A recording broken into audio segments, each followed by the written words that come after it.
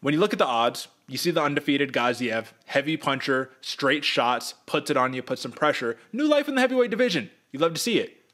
But AJ, is this a trap card? Is this like one of those trap games right here? Rozenstruik going to come in, he's going to upset the world because people forgot because he's not fighting the upper echelon anymore? Or is this just new life that's ready to take over? What do you think? It has the stench of trap game, Derek, especially because of the way Rozenstruik's last fights have been going. Like you said, he's been faltering a little bit. We saw the kind of power he has against the Daukaus brothers, against one of my favorites, man, Chris Chris Daukaus out there. So we know he has the power to shut people down. It's just all a matter it takes is, is if Gaziev is willing to put himself in those same positions and and Rozenstruik can land the punches. Because after that, then we're looking good. If Rozenstruik can keep this fight on his feet, he's going to be doing well in this one. But Derek, I mean, how how what are the what are the uh, likelihood that it comes out and it kind of ends up like the Jailton Almeida uh, match that Rozenstruik just had? I'm seeing a ground game attack right here out of Gaziev. I got a little bit of a theory right here. I wanted to save it for a second, but let's jump straight into it, man. Listen, I really like this matchup, folks. I think this is an interesting matchup, but I also think it's one that's tailor made to Jairzinho Rozenstruik. Now, I did a little bit of research, and one of the fights that I looked back on to just kind of get a consensus comparison was Rozenstruik versus uh, Junior Dos Santos heavy puncher. If he needed to grapple, he can grapple. Solid boxing and is willing to walk you down. Well, what happens, AJ? I don't know if you remember who won that fight, but Rozenstruik got the knockout in that fight, right? Why? Because this is a five round fight. That's the number one key right here. Shamil Gaziev in his last 10 has not gone past three, and he's only gone three one time. Rozenstruik has gone five twice, one and one in those bouts, but more importantly, he's a slow starter. We all know this. So what's he aiming to do? In my estimation, Rozenstruik is going to start off slow. He's going to check any leg kicks that come his way, right? Any of those calf kicks, he's going to check them, and he's going to start throwing those calf kicks to start wearing out the, the boxing of Gaziev. Now, one thing we know about Gaziev is this dude comes on quick, he comes on fast, and he's putting a lot of oomph into all of these shots.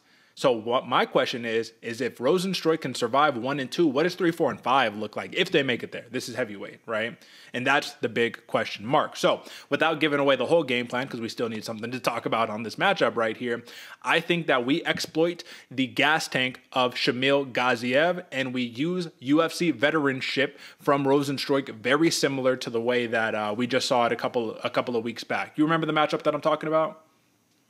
No, nah, not the top end heavyweight matchup. Nah, main event, um, um, Jack Hermansson. There we go. Jack Hermansson over Joe Pyfer. UFC veteranship, cardio, five rounds. It's a different story. That's the way that I'm seeing this matchup play out. That's why I'm heavy on Jairzinho Rozenstruik. But what do you have coming back on the end from Gaziev?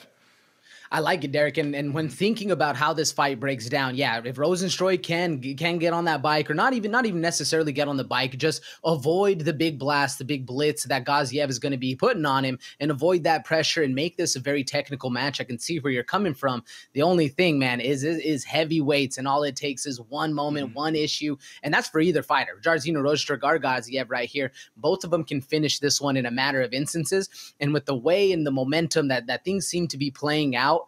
I kind of like Gaziev right here, man. I see him putting a hurting on right at the beginning because he knows he's untested in those fourth and those fifth rounds. And if it does get there, I do think Rozenstruik is going to have the advantage right here. It's just a matter of whoever's going to be fighting their style on on that night, whoever does it better that night. Question: Why do you think the odds makers have the TKO prop for a Rozenstruik at plus 125 with the plus 175 comeback prop for Gaziev?